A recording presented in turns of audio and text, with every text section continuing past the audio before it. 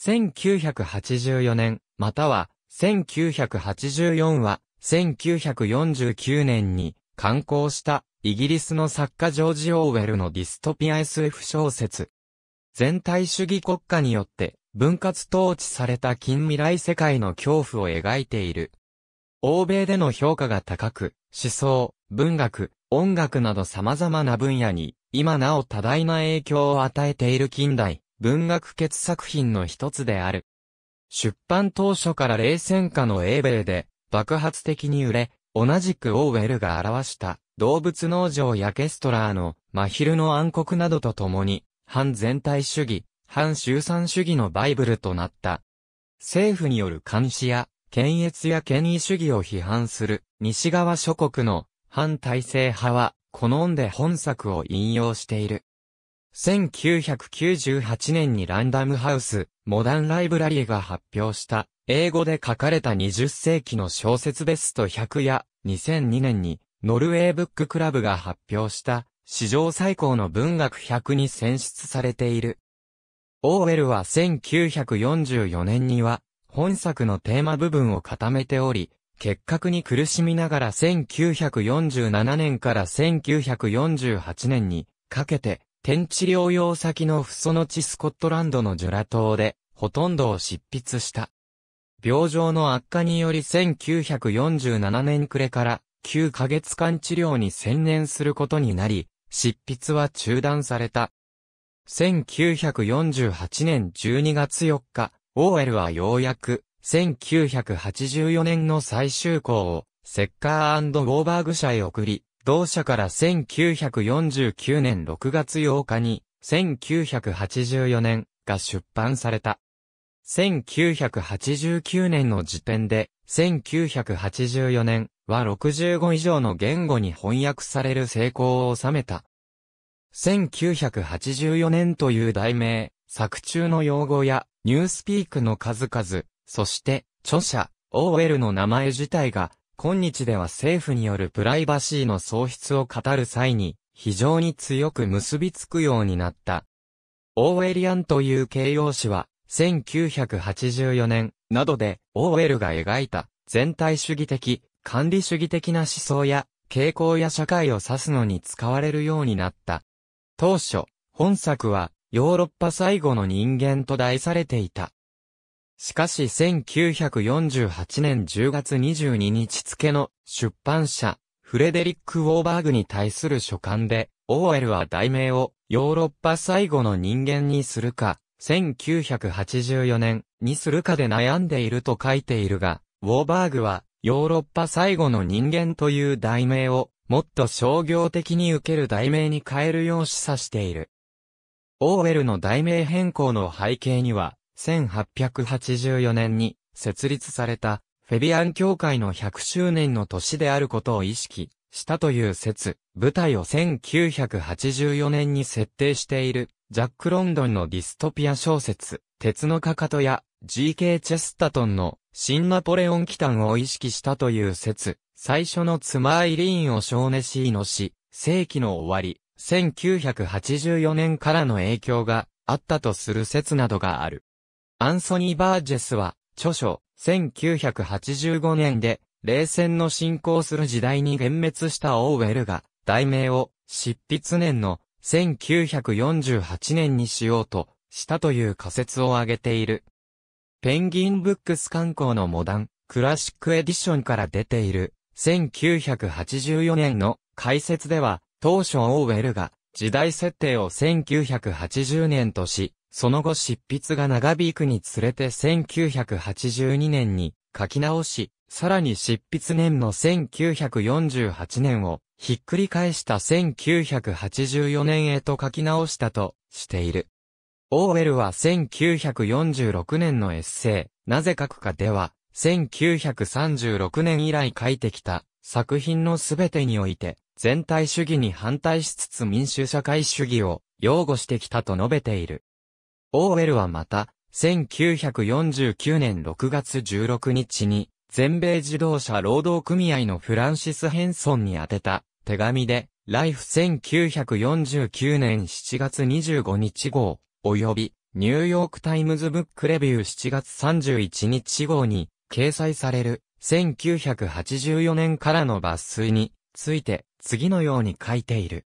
私の最新の小説は社会主義やイギリス労働党を攻撃することを意図したのでは決してありません。しかし、共産主義やファシズムで、すでに部分的に実現した盗作を暴露することを意図したものです。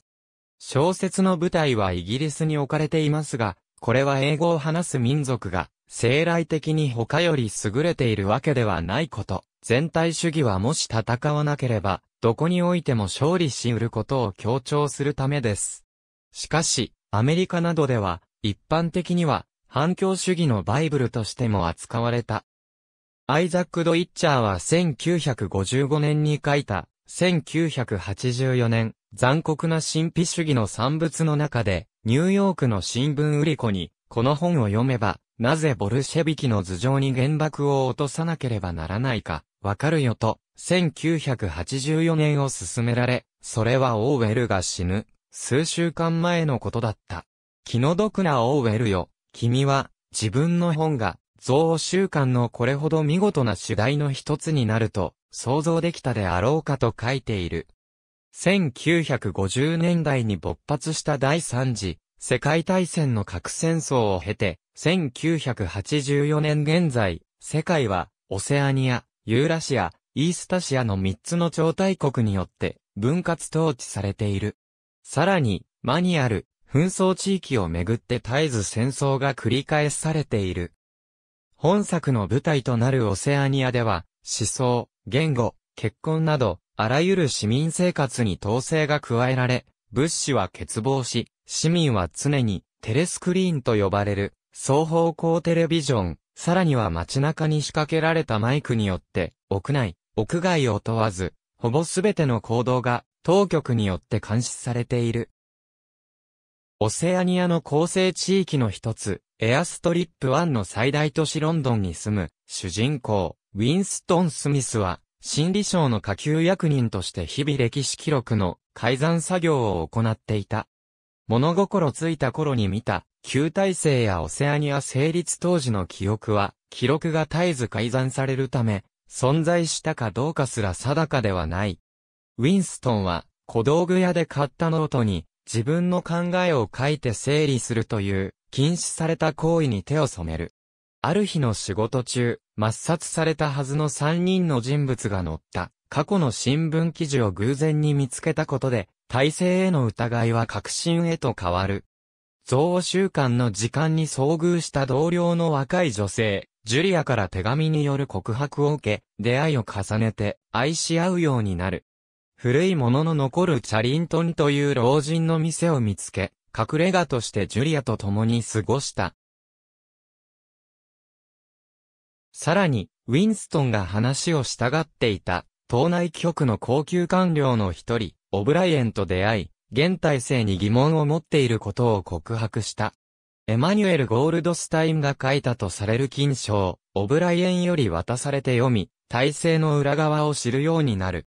ところが、こうした行為が思想警察であったチャリントンの密告から明るみに出て、ジュリアと一緒にウィンストンは、思想警察に捕らえられ、愛情症で、尋問と拷問を受けることになる。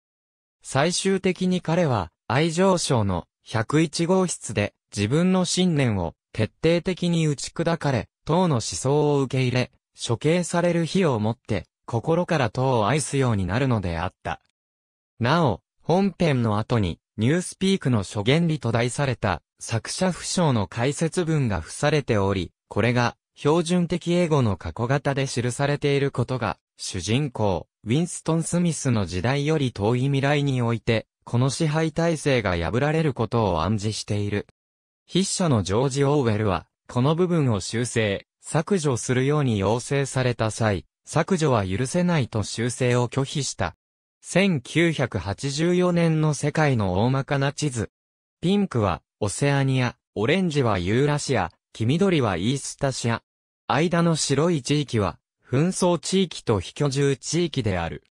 物語の舞台となる1984年は第三次世界大戦後の世界であり、オセアニア、ユーラシア、イースタシアノの3つの超大国に分割統治されている。どの大国も一党独裁体制であり、イデオロギーの実情もそれほど違いはない。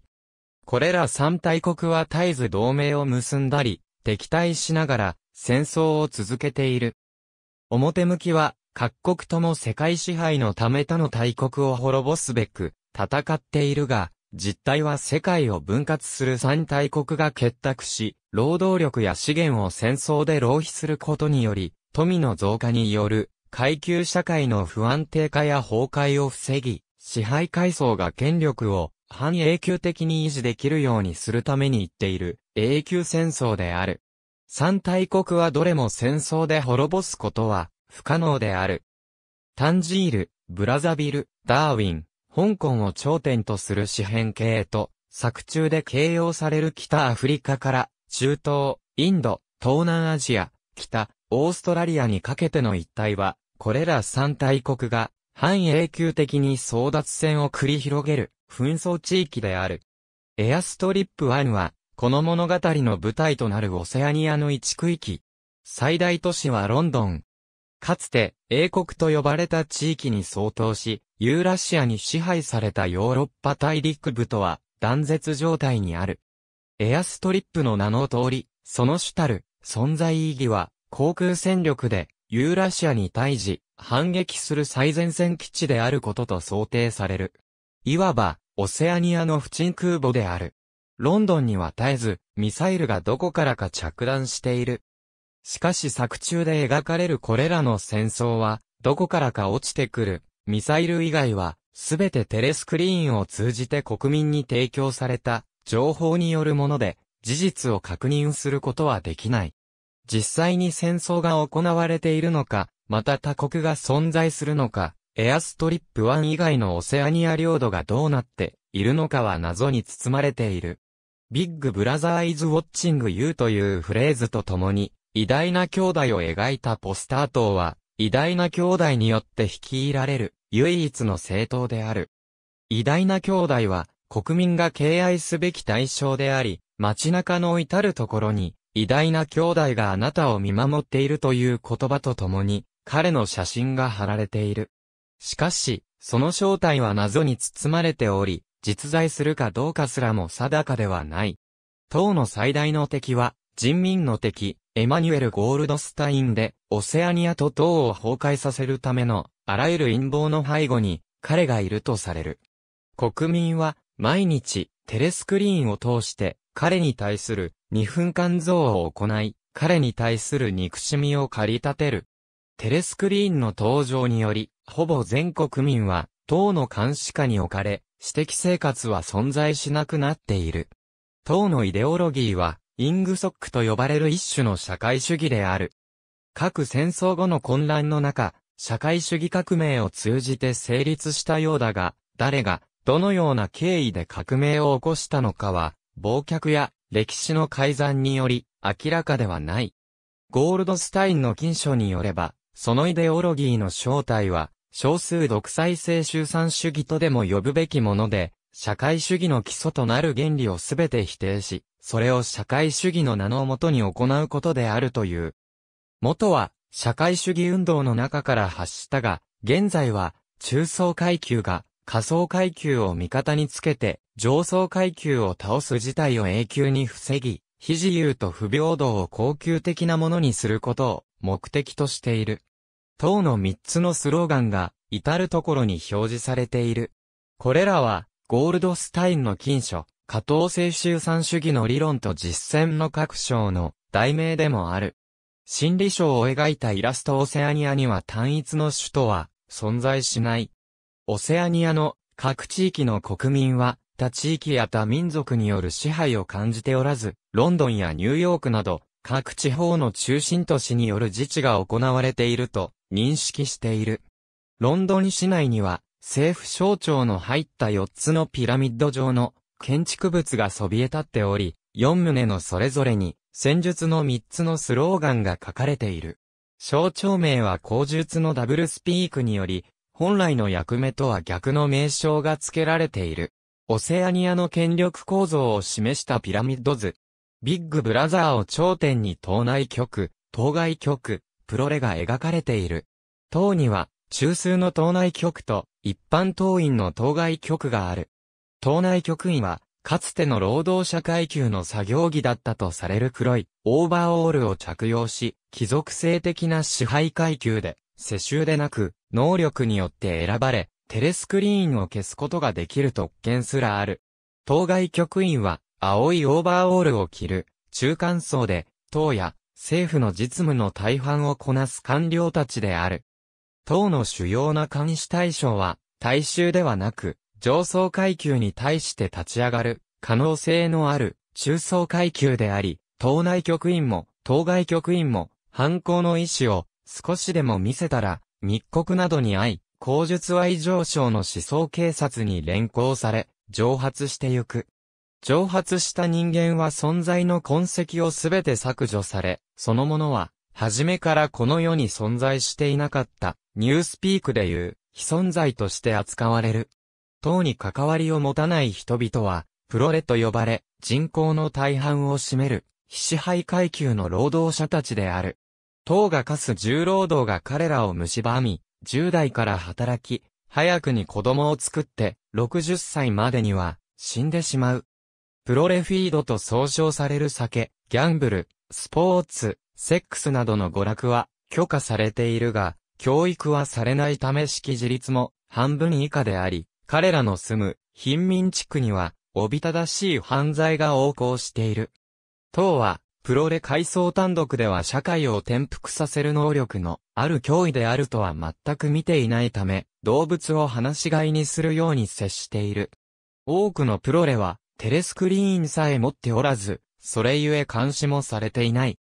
当該局員及びプロレの生活水準は、極めて低いが、心理省による宣伝によれば、日用品などの生産は、毎年驚くほど伸び続けており、1950年代の革命以前の社会は言語を絶するほどの貧しさだったという。もっとも過去の統計や過去に発表された目標数値も心理省により常に都合よく改ざんされ、続けており、今より革命以前の方が生活が豊かだったことを比較し、証明することは不可能である。党員において人間の性本能や愛情は抑圧され、すなわち自由恋愛は存在しない。党は、神経学的に性本能を抹殺し、性行為から快楽を除去しようと試みており、党やビッグブラザー以外への愛情は必要としないとしている。プロレの性に関しては放置されているが、党員の場合結婚は党への奉仕のために子供を産むための儀礼であり、男女間に性的欲求がある場合は、結婚を許可されない。若者の間には、青年反セックス連盟というものがあり、完全な独身主義を提唱して、性を汚すキャンペーンを行っている。ニュースピークは、思考の単純化と思想犯罪の予防を目的として、英語を簡素化して成立した新語法である。語彙の量を少なくし、政治的、思想的な意味を持たないようにされ、この言語が普及した暁には、反政府的な思想を書き表す方法が存在しなくなる。付録として作者によるニュースピークの詳細な解説が載っている。これによると、ニュースピークには A 軍 B 軍 C 軍に分けられた語彙が存在し、A 軍には主に日常生活に必要な名詞や動詞が含まれ、その意味は単純なものに限定され、文学や政治談義には使用しにくいもののみがイングソックによる廃棄を免れる。B 群には政治に使用される用語が含まれ少なからず、イデオロギーを含んだ合成語が含まれるクライムシンク。C 群には他の5群の不足を補うための科学技術に関する専門用語が含まれる。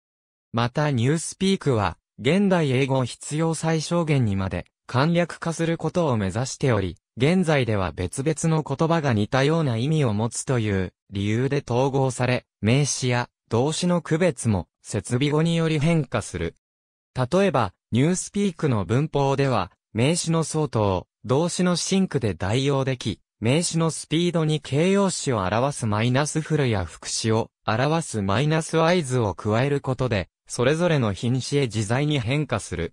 bad を表すには good に、否定の接頭語 un マイナスをつけた、 ungood でこと足り、強意表現は、プラスマイナスや doubleplus マイナスといった、接頭語をつけることで表現される。また、ミニパックスなどのように略語を極端に採用しているが、これによって、本来の語源を考えることなく全く自動的に単語を話すことができる。これには、ナチスドイツやソ連が、ゲシュタポやコミンテルンなどの略語を多用したことが影響している。なお、スピークという単語に本来名詞としての用法はないため、ニュースピークという言葉自体がニュースピークに分類される。新語法辞典が改定されるたびに語彙は減るとされている。それに合わせシェイクスピアなどの過去の文学作品も書き改められる作業が進められている。改定の過程ですべての作品は政府によって、都合よく、書き換えられ、原型を失う。フリーの意味も、フリーフロムマイナスの意味しか残らず、政治的自由や、個人的自由の意味は消滅しているなど変化しており、原文の意味を保って、自由や平等を謳う、政治宣言などを、ニュースピークに翻訳することは、不可能になる。2イコール5というフレーズで5カ年計画の早期達成を先導するソ連ポスターダブルシンクは、一人の人間が矛盾した二つの信念を同時に持ち、同時に受け入れることができるというオセアニア国民に要求される思考能力である。現実認識を自己規制により操作された状態でもある。ダブルスピークは矛盾した二つのことを同時に言い表す表現である。1984年作中の例で言えば、戦争は平和であるや、心理章のように、例えば自由や平和を表す表の意味を持つ単語で、暴力的な裏の内容を表し、さらにそれを使う者が、表の意味を自然に信じて、自己洗脳してしまうような語法である。他者とのコミュニケーションを取ることを装いながら、実際には全く、コミュニケーションを取ることを目的としていない。ダブルスピークという用語は、実際には、1984年に登場していないが、初版発刊後の1950年代に一般化した言葉で、しばしば1984年由来と考えられている。ニュースピークの B 群語彙の定義に概ね影響を受けている。また、現実にある政策や遠曲和法などを批判的に言及する際に、二十五法という言葉を使うことがある。例えば事業の再構築を意味するリストラクチャリングを単に従業員の大規模解雇の意味に使用するなど、原文は電子出版も含め全文公開されているが、詳細な解説を行った版やオーディオブックなど英語版だけでも複数のエディションが刊行されている。またタイトルは刊行当時の1984とアラビア数字の1984の2種類がある。CBS 版、1984年の俳優ウクライナドネツクの工場にある壁の落書き、1984年が英語の語彙に対して与えた影響は甚大であり、ビッグブラザー、テレスクリーン、101号室、思想警察、 unperson、 memory hole、 doublethink、 Newspeak といったオーウェルによる造語は権威ある英語辞書に掲載されるほど全体主義を表現する一般的な語彙として浸透した。また、本作のテーマやコンセプト、プロットは特にポピュラー音楽や映像などで繰り返し言及されている。ソ連では発禁処分とされた。ありがとうございます。